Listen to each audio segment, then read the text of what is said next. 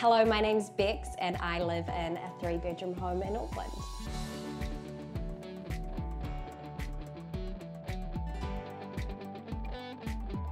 Our power bills were getting higher and higher, so we wanted a long-term solution to help us save money. We also knew that adding solar would increase our home's value. We already have a hot water heat pump and EV, so it made sense to get solar to integrate everything together.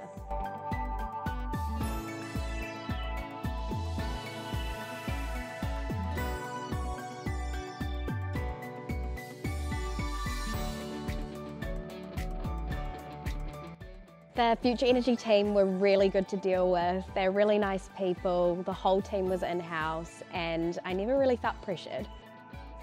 There were a lot of Google reviews that were really positive and that gave us the trust that we needed. My husband was on site during the whole installation process. Uh, we even had our sick baby at home with us and she slept through the whole thing.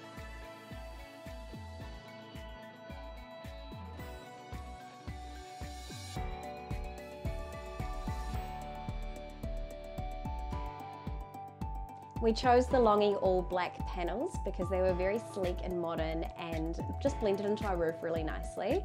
We had panels on three sides of our house, so we just wanted to make sure it looked good from all angles. We went with a SolaX battery because we really liked the storage capacity and it meant we were less reliant on the grid.